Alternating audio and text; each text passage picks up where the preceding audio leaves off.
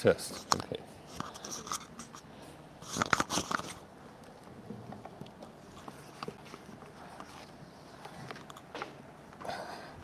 I hate being so far away from everybody. I guess can't be helped a little bit. Tonight, um, I know some of your names. I'm getting to know some of you, but I just wonder if we could take a minute and have you go around and tell me your names again, and uh, it'll it'll help me, and then we can feel more connected too. So, uh, Anthony. Anthony Phillips. Anthony. Okay. Nora Philip, Nora, Lina Salinas, Lina. Robert Salinas. Roberto. Yeah. George. Yeah. George. Esther Cavazos, Okay. Nancy Anderson. Uh Anderson, huh. Yvonne Peña, Okay. Sandy Martinez. Okay. Manny Martinez. Okay. You, sir? T.L. Osborne. Till, No. okay. Rita Gonzalez. Rita. And then I think you all know my wife, Glennis. Glennis. Okay, and I'm Ken. And this evening, we're going to just try to go in the Word together. I don't want this to be a real formal time. Uh, I have a lot of material to cover. I don't know if we'll make it all, but uh, I did want to uh, just tell you that I'm happy to be here and, and get to, to share tonight. If you have questions, we can't get off. You know, if there's questions, we sit there like bumps on a log. You can, yeah, like that. so, okay, so to get started tonight, what I would like to do is uh, take just a few minutes to think about the concept of orientation. And uh, everywhere we go as human beings, we don't realize we do it, but we're always orienting ourselves. You did it tonight when you came in, but you weren't aware of it. When you walk in a room, you look, you look around, and uh, you, you saw tables, you saw chairs, and because you then had information that you needed, you knew where to go sit. You thought, okay, I'm going to go to that table, I'm going to go sit over there. You were orienting yourself. And whenever we travel, we do this also. So I put up an example of a, of a map, and uh, maps are something that give us direction, aren't they? If you go on a trip, you want some direction, how to get there. A map shows us how to get to where we want to go. But maps do something else, and I just, as I thought about this study and was putting it together, I realized that there's something even more basic that they can do that I had never really thought of before, and that is maps help us know where we are. I mean, that's kind of profound, but it's pretty simple too. When you look at a map, you lots of times think about, okay, where am I? Because I want to go somewhere else. So maps are something that help us to know where we are. And we do this a thousand times a day, don't we? Go on a trip, come in a room, go to a store, whatever we do, whatever we're doing, we orient ourselves. Now, why do you think we do this? We don't have to think about it. Why It's automatic. But why do we do that? Why do we need to do that? We want to know where we are. You want to know where you are. Your brain, yeah, your brain's getting information, isn't it? Because just think if you had no orientation around you. You know, uh, this is what happens to people if, if they're blind and they're they're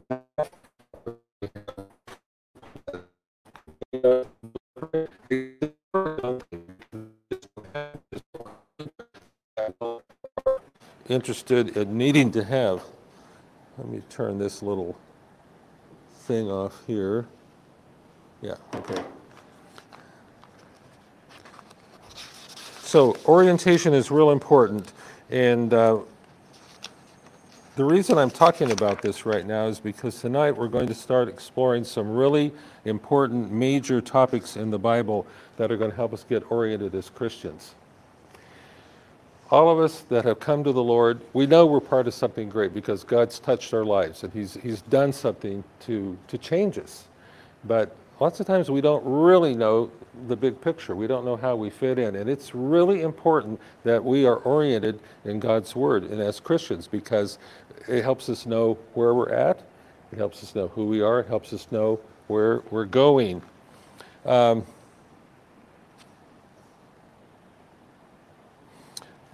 let me uh, orient you a little bit on what we're going to be doing here in the next couple of weeks. Tonight we're going to be talking about God's blessing. Okay? And you might just think, oh, blessing, yeah, we're blessed. But I'm telling you what, we don't hardly have any idea of how much we're blessed and what it means to have God's blessing on our lives. And then next week, Lord Happy, we're going to be talking about God's glory. Not just his glorious being, but the fact that we live for his glory. We live to glorify him. And that's something that I don't think a lot of us have enough grasp of.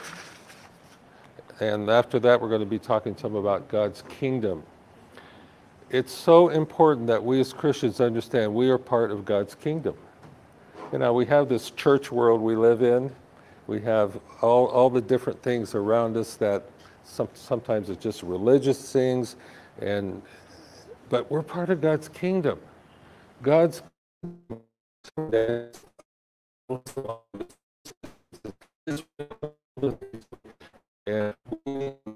we know where we fit into God's kingdom that we're part of. And then the fourth week, uh, we're going to change a little bit, and I'm going to talk about what if you had never heard. And I'm talking about the gospel, I'm talking about the blessing that comes through Jesus Christ. What if you and I had never heard? So I won't tell you any more about that, but in a few weeks we're going to get to that.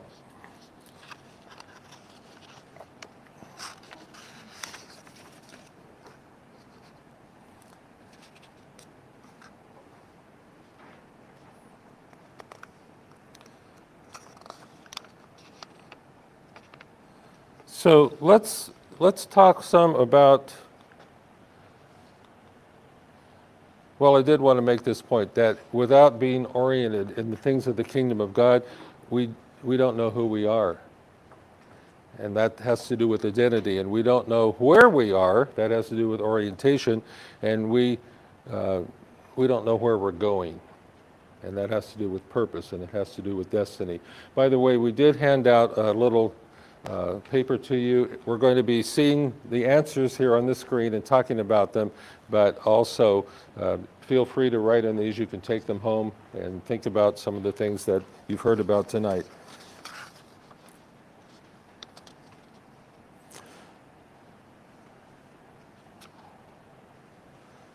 Okay, so our goal over these next four weeks is to help ourselves as God's people to become better oriented and understand fully, or at least more than we did before, God's purposes and his purposes for our lives. Did you know God has purposes? I don't know if you've ever thought about that before, but God has some very definite purposes of things that he's doing and wants to do. And we're going to be looking at that. Uh, believe it or not, to actually begin to better understand who we are as Christians and what God's plans and purposes are as Christians, we have to go back in time 4,000 years. If we had a time machine, we could do it, but we're just going to have to use our imaginations tonight to do it. But we have to go back 4,000 years to a place on the other side of the world. It's a real place. It's in a country that we now call Iraq. And uh, it's a place where a man named Abraham used to live. You've all heard of Abraham. But Abraham, in himself, he's nothing. He's just like we are. He just was a normal person that lived in a place at a different time. He spoke a different language. He was a different culture. But God did something in Abraham's life that not only transformed Abraham, it, it, it's something that has changed the entire world. And the thing that I want to show you tonight that God told Abraham and started doing with Abraham actually is part of the reason that we're sitting in this room tonight. Think of that. Something that happened 4,000 years ago on the other side of the planet to a guy that's been dead for 40 centuries, totally different.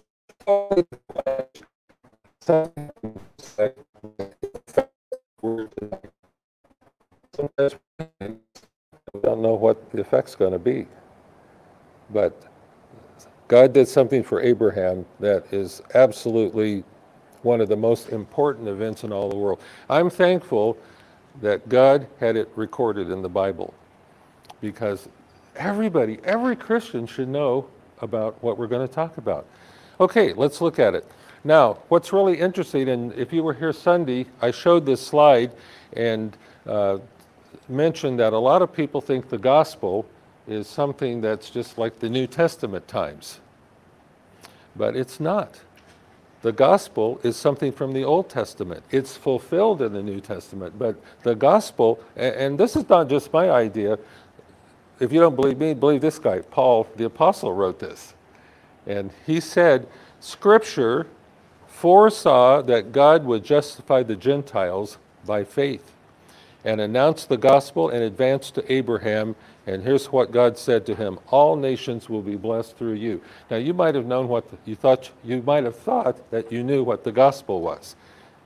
When someone, if someone were to ask you, what, what's, what do you think the gospel is? What would you tell them? And you'll be right. There will be a lot of answers that are part of it. What, what would you say? Good news. It's good news, okay? What was the question, I'm? Yeah, if someone were to ask you what is the gospel, what would you tell them? Very simple. That God, loves all of us and we are God's children. Okay, Through time, we tend to see, we tend to lose ourselves because we become very greedy. yeah, that's and true. end, nothing really matters. People don't get it to their head. That's true. Very simple. We know we pay taxes and we know we die. Bible says, well, what do I go to when I die? Very simple. If you believe in Jesus, Jesus is Lord, and he said, I am the way. I am the truth and the life and the resurrection. He that believes in me will never die. So automatic when we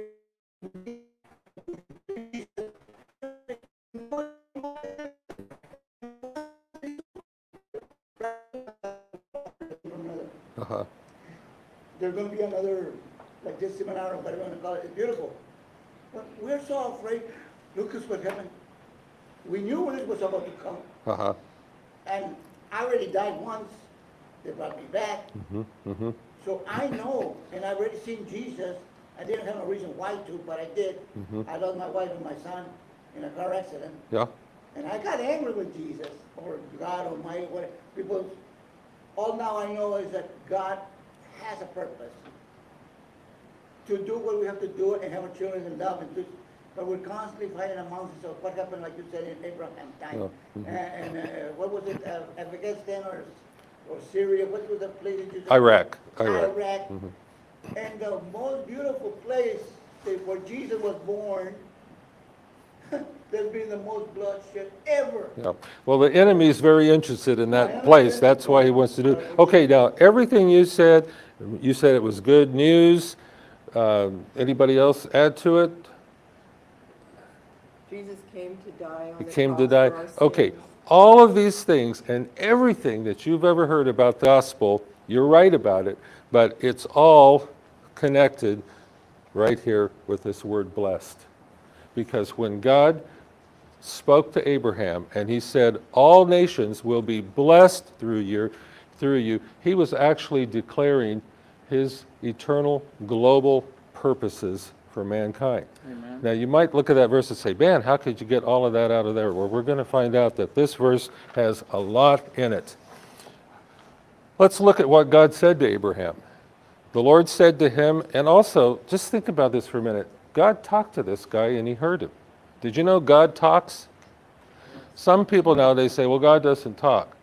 Well, he does talk. The very first thing in the Bible says God spoke, right? To create things. At the very end, he's talking. All through the Bible, God's talking to people. Now, that doesn't mean he's going to hear, you're going to hear his voice like you hear mine every day. But God communicates. God is alive, and he made us to be able to communicate with him. So Abram heard the Lord. By the way, Abraham was not a spiritual guy necessarily. He lived in a place where they were idolaters. And he, uh, but God saw something in him, and God spoke to him and he said something to him. Here's what the Lord said He told him, Go from your country, leave Iraq. wasn't called Iraq then, but leave this place, your people, your father's household, and go to the land that I will show you. He didn't even know where he was going. God just told him, Go. And God does that in our lives. We're on the way somewhere we've never been before. Then God said, I will make you into a great nation, and I will bless you. And I will make your name great, and you will be a blessing. Hmm, sure talking about blessing a lot here, isn't he? I will bless those who bless you. All people bless you, And all peoples on earth are going to be blessed through you. Now, I wonder when God said, especially that last thing to Abraham, if he thought, how in the world am I going to be a blessing to everybody in the whole world? I think if I were Abraham, I might have thought something like that. I mean, that's a pretty awesome thing God told him, isn't it? How did God do that? Well, Paul, fortunately, talks about it in the book of Galatians. He's talking about the promises spoken to Abraham and to his seed. And he says, Scripture does not say that God made these promises to seeds. Now, those of you, do we have any English teachers here? Let's see, Anthony, you're a teacher, but what's your, you're, you're a science teacher, right? Yeah. Anyhow, we know this. When a, a word has an S on the end, usually it's what? It's plural. If it doesn't have it, it's singular. Okay. Now, this is, Paul is actually making a grammatical point here. He says, the scripture does not say that this promise that God spoke to Abraham was to seeds, even though there is a plural aspect to it because of all of the people that are called, meaning many people, but God said to him, and to your seed, singular. This is a real important point. And who is that person, that seed? He tells us. Who is it? Christ. It's Christ. God told Abraham, he gave him a promise, and he was revealing his purposes through that promise. But that was not just for Abraham, it was for his offspring also. Now, Abraham couldn't have children. His wife couldn't have children at first, could they? But God did a miracle. You know the story. I'm going to rely on, on you tonight that you know a lot of these things from your study of the scripture. But you know that he, he did have a son. It was a son of promise. What was his name? Isaac. Isaac. Okay, Isaac. But Isaac was just one of Abraham's children. There was a next generation uh, Abraham, Isaac, and Jacob. And then you probably don't remember the next generation, but it's in the Bible. If you go to Matthew, the book of Matthew, in chapter 1, it actually gives you all the generations from Abraham. It goes through Isaac, Jacob, and all, all the different ones. I can't remember them all either without looking at them. Do you know who it ends with?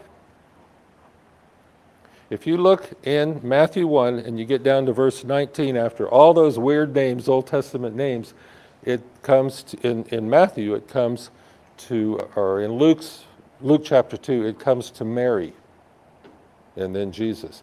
In the other genealogy in Matthew chapter 1, it starts and it goes through Abraham and it comes all the way down to Joseph. So Jesus was a direct descendant of Abraham, who was the legal and.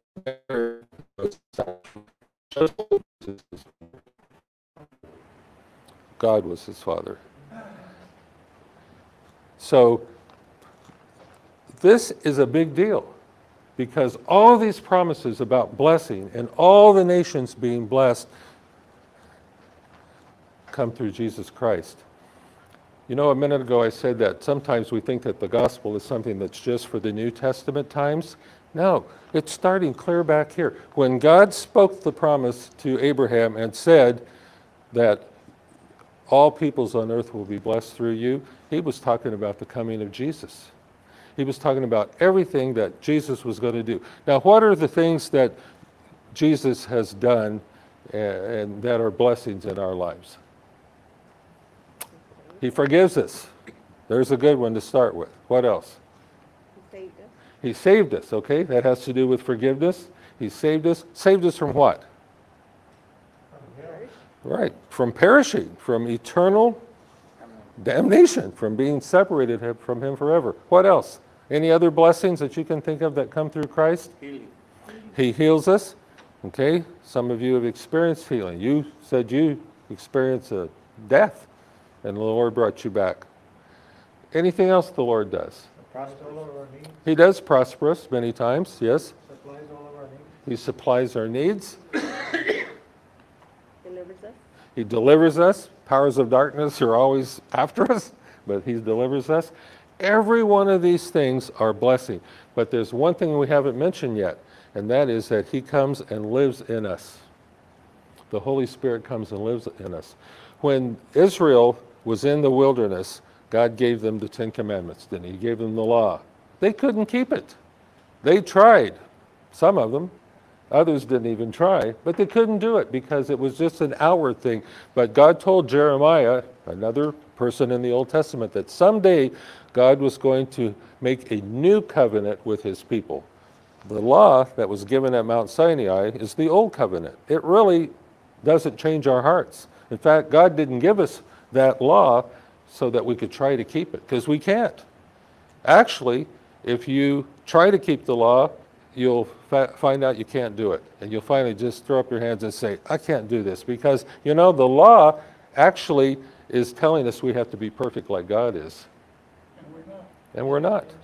I remember many, many years ago, my wife and I were doing some mission work, and we were in Costa Rica. And uh, you've been there. And my neighbor was a, a kind of an older guy, and we visited from time to time. And one day he's out in his yard watering, and I went over and talked to him. And we started talking about spiritual things. And he said, Well, you know, I always try to keep the Ten Commandments. He's going to tell me how, you know, he, he was interested in God and he tried to keep the Ten Commandments. And I said, Well, you know, the Ten Commandments are not just outward. Jesus said that if you um, hate someone, if you just hate him, say bad things about him, that, that's murder.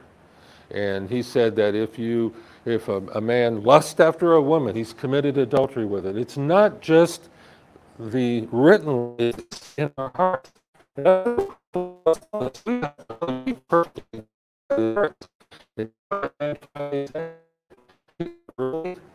Frustrated, and he said, Well, then, how can anybody be saved?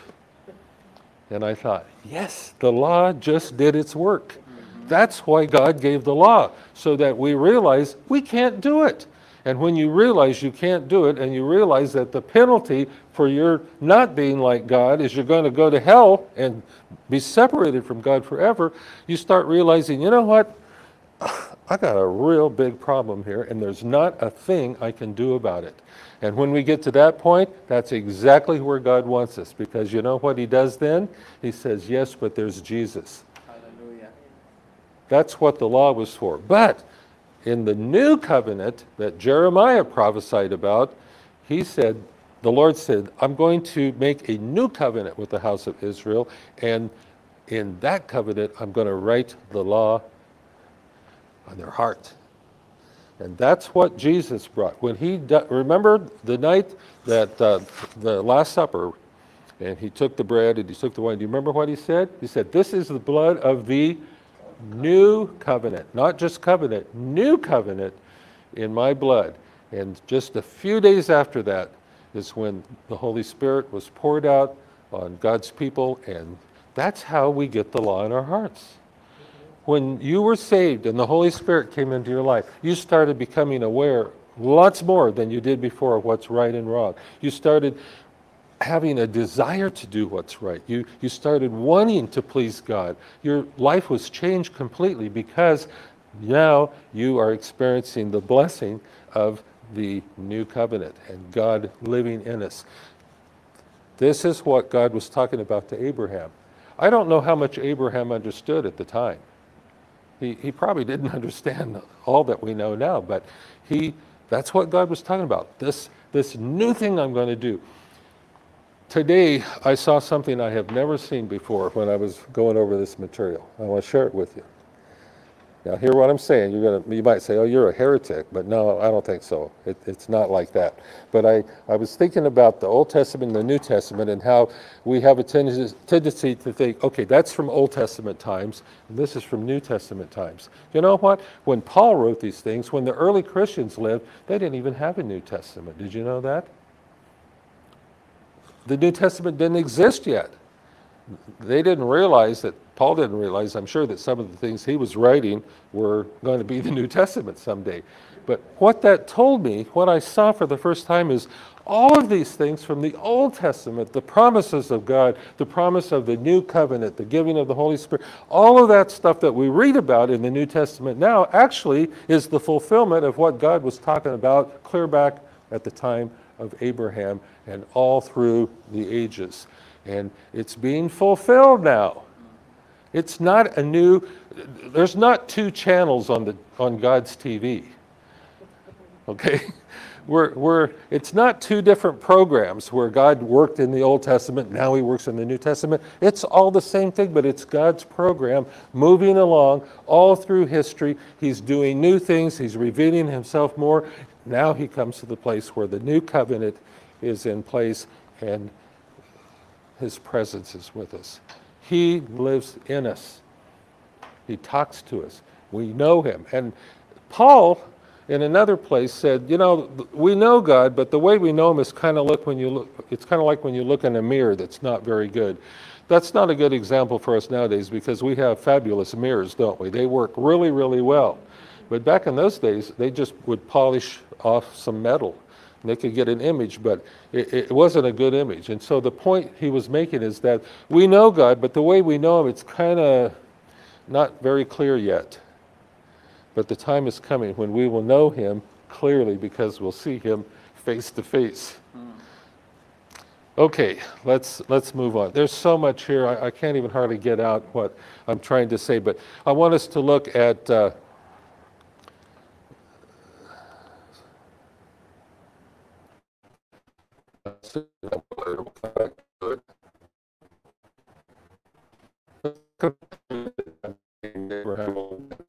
to God's purposes some more in a few minutes because there's more to say about it. But, you know, Abraham was, do you know how old he was when God told him to leave and go to the, a new land?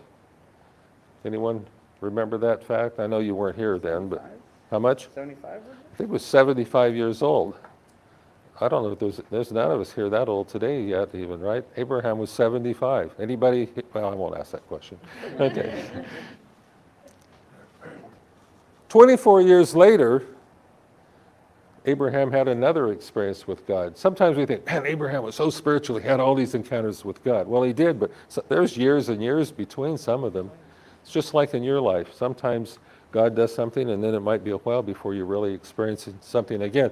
When he was 99, the Lord, this time the Lord appeared to him. He actually saw the Lord, and the Lord spoke to him, and he said, I am El Shaddai, which means God Almighty in Hebrew. And he told him, Walk with me and be trustworthy. I will make a covenant between us, and I will give you many, many descendants. Now God's starting to talk about all of these descendants. You have probably read about how one time God spoke to Abraham and he said, I'm going to give you so many descendants, it's going to be like the, the sands of the seashore. When you go to Padre Island, which I'm sure every one of you have, have you ever tried to take a few minutes and count all the grains of sand? Mm-hmm. No, obviously not. There's too many. But God said, All the descendants that I'm going to give you, and remember, Abraham did not even have any children at that point. But God said, I'm going to give you descendants, and they're going to be like the sands of the sea. And then another time He said, I'm going to give you descendants, and they're going to be like the stars of heaven. That doesn't help us too much now because we have so much pollution in our air, we can't see many stars. But if you could see all the stars, one time we were in the Amazon jungle and it had just rained and it was around midnight and it was clear.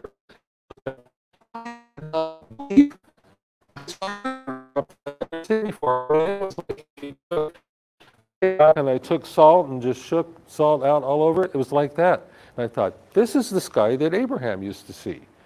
Now that really made sense that God said, I'm going to give you all these descendants. But out of these descendants, which is plural, God had in mind one descendant, which is singular, Jesus Christ, that all these promises were going to be fulfilled through, and all of the rest of the descendants are going to be blessed through that seed of Abraham. Okay, let's. Uh, talk a little more about God's global purposes because this verse where God spoke to Abraham has a lot more to it than meets the eye at the beginning. One thing God did that's quite significant is that he spoke to Abraham about his global purposes with a promise and not a command. He did not say, Thou shalt this. He said, He gave him a promise. And a promise is actually like a mandate. Now, are you familiar with that word? Sometimes in politics, if a politician has a landslide, he says, I have a mandate to do this. It's kind of, it's not a command, it's, it's something that, it- it's an assignment that, that you're given. And the fact that God did not give Abraham this revelation as a command, but he did it as a promise, tells us that it's, it's a mandate that's to be fulfilled. Now, why did God do that? Let's come back to that one in a minute. Why do you think God did it that way? Well, first of all, He does not expect you and I, or Abraham, or any other believer during the ages to be able to do His work by ourselves. In fact, Jesus made it real clear. He said, Without me, how much can we do? Nothing. Nada. He said, Without me, you can do nothing. So God knew from the very beginning when He gave this promise to Abraham that Abraham was not going to be able to do this work of going to the nations really in his own strength and power. God was going to work through him. And who is Abraham's family now? Do you know any of any descendants of Abraham? Right here? Are you a descendant of Abraham? And you are too? Anybody else here a, a descendant of Abraham? Of course, we all are. Because Paul said that if we are of faith, like Abraham was of faith, then we are his children. And so his family is really big. And this mandate given through a promise was given to Abraham and his descendants. And you're a descendant. So what's that mean about you and me and this promise that's a mandate that God gave to him? Who's it for? Is it for you too? Yeah, it is. What God told Abraham, he told him something that actually was for you and me today here. I don't think Abraham knew about Texas. He didn't know about the Rio Grande Valley with all of our nice taquerias and all that, did he? But God did. But God had you and me in mind when he gave this command. And God works through us, through the Holy Spirit living in us, to, to do this. One thing I'm trying to get us to see here is this thing of God working, this thing of going to all the nations, it's not our work. God is the one course, the course that we work with says that the living God is a missionary God. God is the one that does the reaching out to people, but He wants to work through us. Now, why do you think He wants to do that? Because, man, we're really pretty weak, aren't we? Did, God, did Israel do a real good job of blessing the nations? No. No, they, they did it. In fact, by Jesus' time, they were calling the Gentiles, now the Gentiles, that's the nations, right? That's the other people groups that are not Jews. By the time that Jesus came, even though Israel's assignment was be a blessing to all the nations, you know what they called the Gentiles then? Dogs. That dog. Remember the Syrophoenician woman that came and she wanted the Lord to bless them? And, and the disciples wanted her to go away. And she even said, Well, you know, at least the dogs come and crawl under the table and eat the crumbs. She was referring to herself with the terminology they use. They even had laws in their country that you weren't to have a close relationship with Gentiles. You couldn't even go to their house and eat. These are the people that God told them to reach, and they had laws that you couldn't even talk to them hardly. I think they got off the trail. Of course, now all of us that are God's children, we're we're okay, right? We're doing a good job of reaching out too. Not not as much as we should. But what I want us to see tonight is that this thing that is happening in the world of the gospel going forth is actually the work of God. And He has invited you and me to be part of it. Now, you have have or had children, little children at home, or you have grandchildren, and uh, sometimes a mother might say, "Okay, I want my little girl to help me clean the house." And she has has to run around and straighten out for her. clean. Why does the do that? Because she knows that she's going to not have to do any work and the child's going to clean up? She loves her child. She's training her child. What? Participation. There's participation, there's, there's even fellowship there, isn't there? But the parents do it because it's good for the child. I think that's kind of how God sees us, because I mean, Jesus said, without me, you can do nothing. And we see how we fail, but for some reason, God allows us to be a part of what He's doing because He loves us, because we're His children, because He wants to bless us. It's part of the blessing. Because someday in eternity, there's going to be crowns, there's going to be award, uh, rewards for the things that actually God did through us. If we submit to the Lord and follow Him and let Him work through us, He's going to give us a reward for that. If we just do it on our own, that's the hay and stubble that's going to burn up, isn't it? But God, and so one thing God did, and I'm going to rely on you now for this for just a minute. God, after He gave these promises to Abraham, He made a decision that He was going to form a people in the earth that He could work through. And it, it was the nation of Israel. Do you remember how that happened? Started with Abraham, didn't it? And the son of promise, Isaac, and then that family grew. It was a tribe. And what happened to them? Uh, a famine came on the land, and where did they move to? Can dig in your Bible knowledge now. Where did this group of Canaan? where? Canaan? Okay, they were in Canaan at the time, weren't they? But when this famine started, they had to go somewhere else to get some food. Do you remember where it was they went to? They went to Egypt, exactly. Remember the story? That's where Joseph fits into the picture. He got sent down there ahead of time. Uh, his brothers thought they were just getting rid of him, but actually God was sending him there to make preparations for them to come later. Okay, so they're in Egypt and land that was the best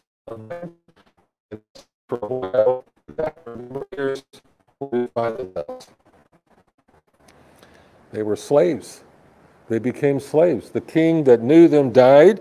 The new king didn't like these guys. He said, There's so many of them, they're going to take us over. We're going to, let's make slaves out of them. So now Israel finds itself in slavery, and they were slaves in Egypt for four centuries, 400 years. And then they just were so miserable. They were crying out to God, Oh God, deliver us, deliver us. And so who did God raise up to deliver them? Okay, that's where Moses comes into the picture. You know that story. God brought them out of Egypt with great signs and wonders and brought them across the Red Sea. He opened that up and brought them across. How many years did they spend in the wilderness? 40 years they're in the wilderness. But all during that time, God is building something. He built, he brought them for a, a tribe of 70 from Canaan when they moved to Egypt. And by the time they left there, 400 years later, there were millions of them.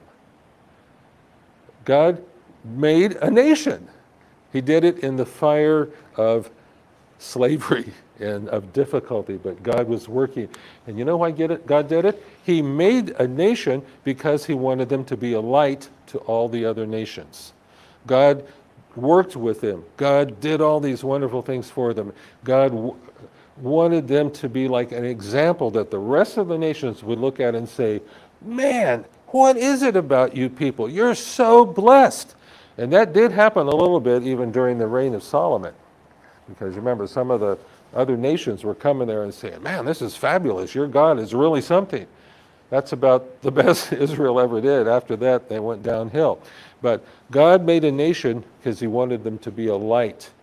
Okay, now we go down through the centuries. We get to the time that we call the New Testament time. God once again showed him that the Gentiles were supposed to be included. Did you know that the Gentiles being part of, of God's people, that's not a new idea. That's what God told them to start with. You're going to be a light to nations.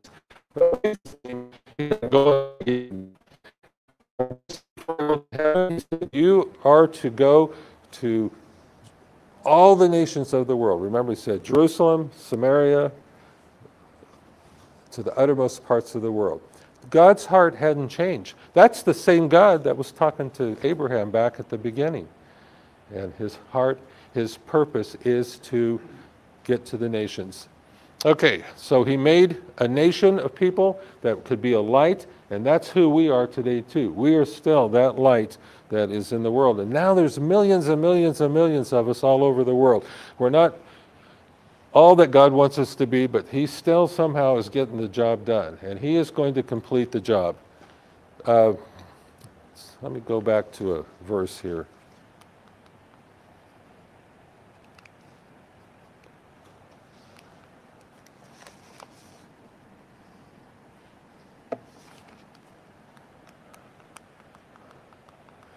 I brought, I had a verse here a minute ago that I added, and I didn't get it in the right place, but I want.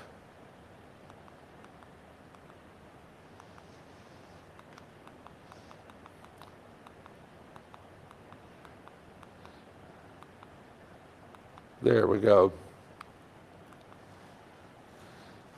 Okay, now remember, we're starting with Abraham 4,000 years ago. We saw that in Jesus is the fulfillment of these promises. He's still doing it to this very day. You and I are part of what he's doing. That's part of this.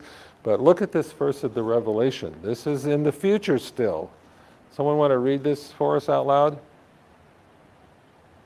After this I looked, and there before me was a great multitude that no one could count, from every nation, tribe, people, and language, standing before the throne and before the Lamb. Does that sound like what God talked to Abraham about thousands of years before? God is the one this. We get to participate. He's blessed us in that way. But He is going to get it done. And the end is in sight on that because the nations are being reached. Okay, let's. I'm going to run out of time. Okay, I want to touch on this. Another thing that we see in Genesis 12 about God's um, purposes is that part of what God is doing is toward God. And you'll see this on your list. I think it's number seven. God's purposes have to do with Himself in part. God's pursuing a global purpose that will reconcile all things to Himself. What's it mean to be reconciled? You know that word? Understanding to be, to come into an understanding with thyself or with the people. Yeah, it means to get back together. If you have a child, let's say, that you don't have communication with, you need to be reconciled. You need to be brought back together. So, reconcile or reconciliation means being brought back together. One of the things God's doing is He's reconciling all things to Himself. That's toward God, that's for His benefit. God created us because He wanted to have people to love and to love Him. But the fall of man messed it all up. But God, part of His purpose is getting things back, and it's for Himself. God wants to be worshiped, He wants to be loved. He wants to be appreciated, just like human beings do. Okay, another thing, the things that God is doing, He's doing things for people.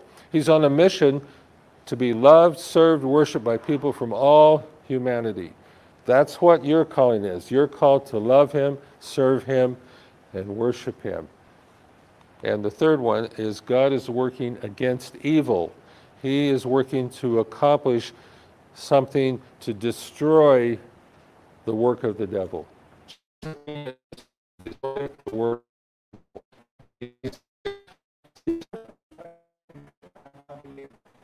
I'm very concerned. The more we think about it, and we say against evil.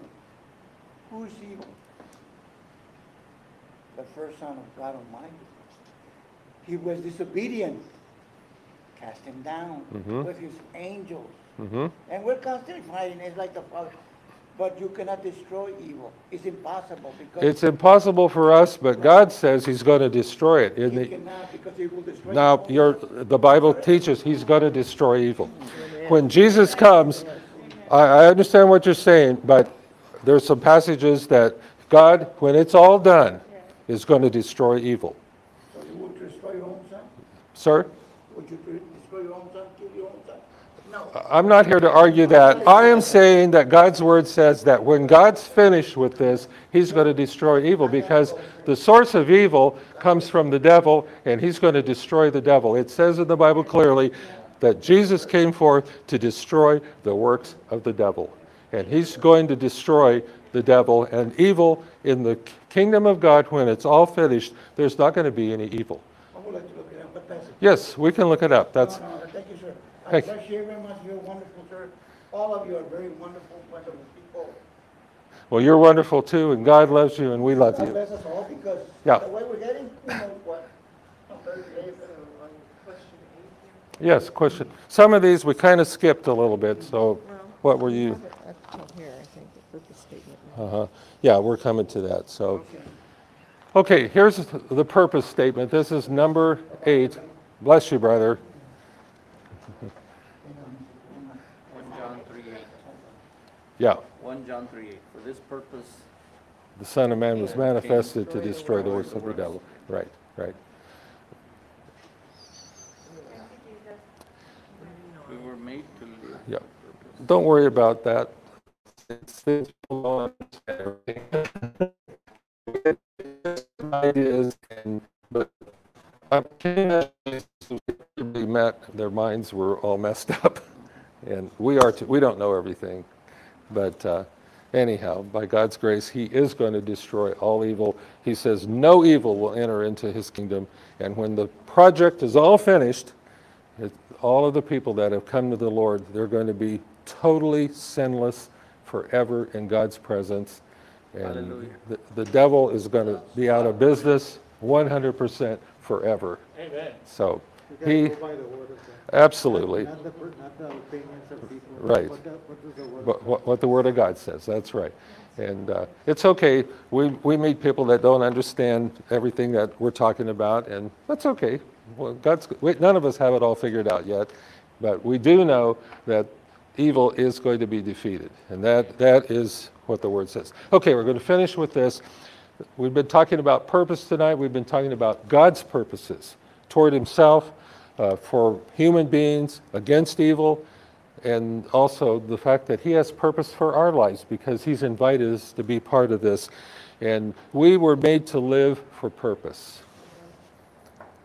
God made you to live for purpose. And that's the first blank there on number seven.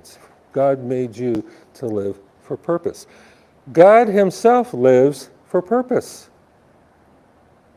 We saw some of that purpose tonight. We just touched on it. I mean, it's so much more. It's huge, it's vast. But He has purpose. And the way to live with significance how many of you want your life to count for something? Amen. sometimes people have a midlife midlife crisis and i think most of the time it's because they come to a point where they think man i'm almost you know i'm 50 years old. What have i done with my life? Nothing. And it's because it's about purpose isn't it? But the way to live with significance in our lives is to devote ourselves to a purpose that is larger than ourselves. That's what you don't have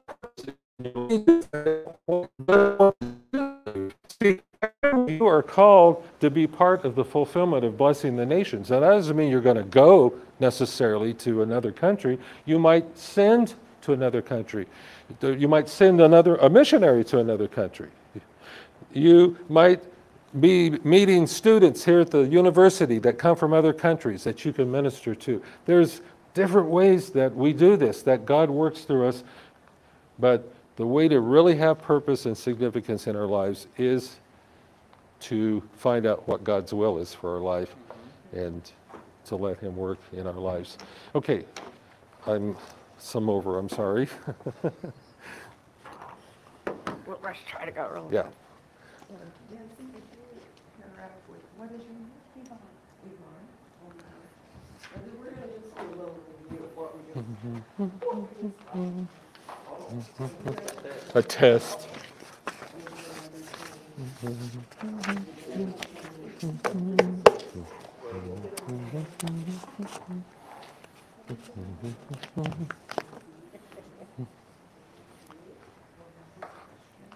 exposed, so I need to get-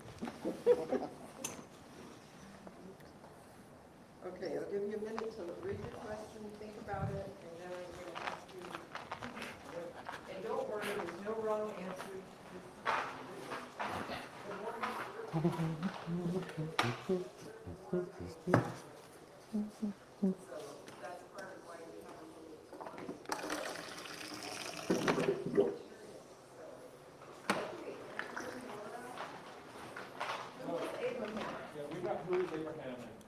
Abraham? Was just a regular man that God chose to use for his purpose, to be a blessing to all.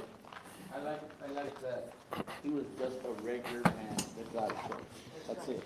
Actually, I think, and I think a lot of scholars, that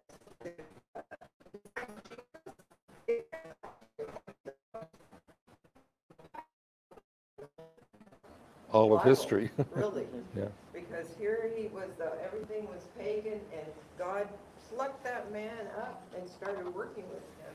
And he had, the whole program has just been rolling since then. He's called a patriarch. Called the father of the faithful, like we just talked a little bit, he asked, he's our father, because he's the father of the faith. Uh, he's also called the friend of God. Would you like to have that title? Friend of God. Okay, we mentioned, Ken talked about the covenant that God made with Abraham. So that's a fancy word. What is a, what is a covenant? Promise, Agreement? An Mhm. agreement, promise. a promise, An understanding with God. an understanding, Contract. similar to a contract. Yeah. But a covenant usually is, has a spiritual aspect. It's a little, it's a deeper thing than just a contract. A A binding contract. A binding Holy contract, agreement with God. yes, and it's, a- it's God involved in it. Like when you are married, you're making a covenant between the two of you, but it's with God. And so that's why we should tremble if we're gonna break that covenant, because God's involved in that covenant. So the covenant still exists each and every day, mm-hmm. each and It every goes day. on. Each and every, because God made a covenant with us. He said, you will see the sun in the morning, and you will see the, the moon at night, the water. Since he said, let's, going back to Genesis, let there be light, light needs to come out because it's got to obey the Lord. The Light comes out, He that's how the sun be. comes out, and the moon comes out, and we're here. Yeah, that's right. And so he had a covenant with Abraham, that he was gonna use Abraham.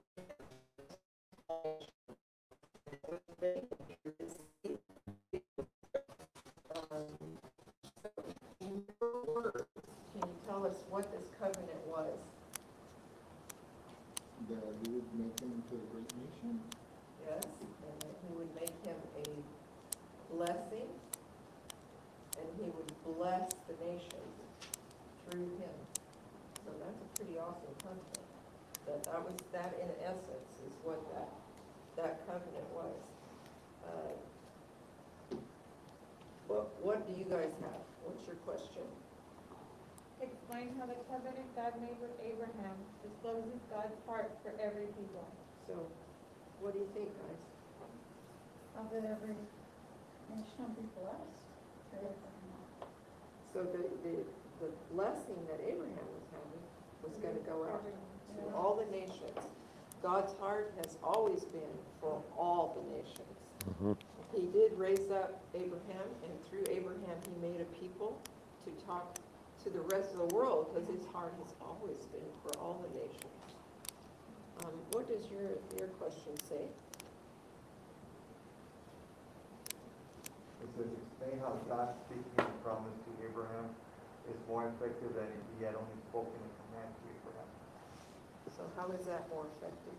Because like sometimes you tell somebody a command, sometimes you don't do it because you're telling them to do it and they just won't do it. When you say a promise, then it, it's still kind of like a command, but a promise, it's a little bit more lightheaded to whether, oh, okay, if I do this, I get this. So it's more chance that it won't get done in the, in the form of a promise than just, uh, go do it. when God made the promise who's, who's, who's carrying the most The weight in that? responsibility is on God, not on us. Yeah. Exactly. And s- if he's gonna make the promise, he's gonna make it happen. He lets us be part of it. But he has to he's actually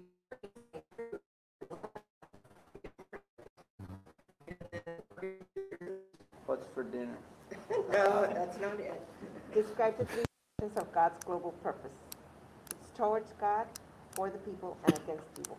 Okay, so there was, Towards God, what does towards God mean? How, how are we, how do we relate to God? God pursuing a global purpose that will reconcile all things to himself. And what is God looking for from every people and every nation? To be loved, Yes, to be Yep. loved? served, and How do we, how do we show, what, what was that last word? Served and worshiped. Worship. God is looking for worship from every people. That's towards God. That's part of what he wants. He wants this love relationship with every people. And what was the second one? Toward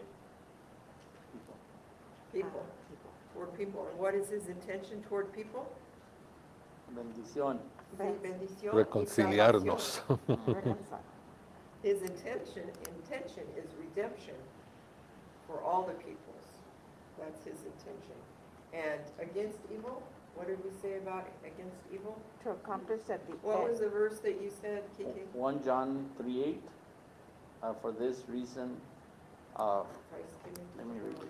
it. The Son of Man was, the Son of God was manifested. Anybody know it by memory? Anybody know it by heart? I For do. this reason, the Son of Man, one John three and eight says, uh, The one who does good. Oh, the reason the Son of God appeared was to destroy the work, the devil's work. Well, this is, uh, let me read it in. It's because it's a different It's a version. different version, Yeah. yeah, kinda got confused there. He who sins is of the devil, for the devil has sinned from the beginning. For this purpose, the Son of God was manifested, that he might destroy the works of the devil. And that is one of many verses. Mhm. Oh,